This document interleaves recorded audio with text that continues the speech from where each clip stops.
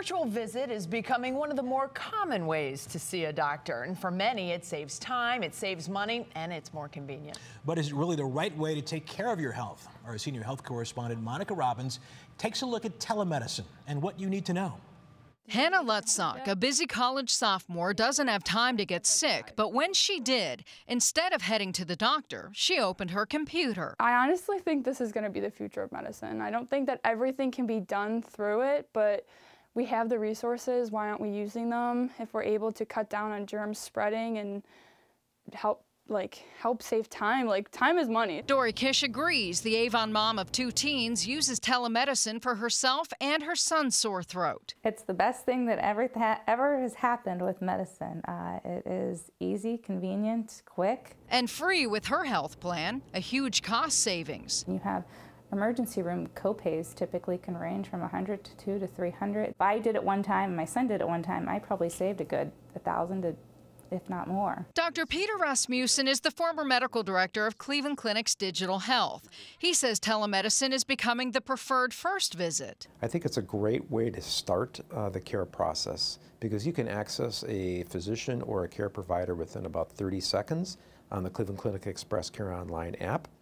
And if that provider can't resolve your concern at that time, you can be referred for an in-person visit. And at times, it makes more sense to use it. This is our preferred method of seeing patients with the flu or suspected flu because we don't want patients coming into our EDs and urgent care centers and potentially infecting other patients or our own caregivers. But there are critics. Some say it doesn't save as much money as advertised. Others believe it can lead to an uptick in overprescribing antibiotics. Last year, University of Pittsburgh researchers released a study showing parents who use telemedicine for their children were 55% more likely to be prescribed antibiotics compared to those who opted for a traditional office visit. In Ohio, law requires a good faith effort by telemedicine to share a patient's medical record with their primary care physician.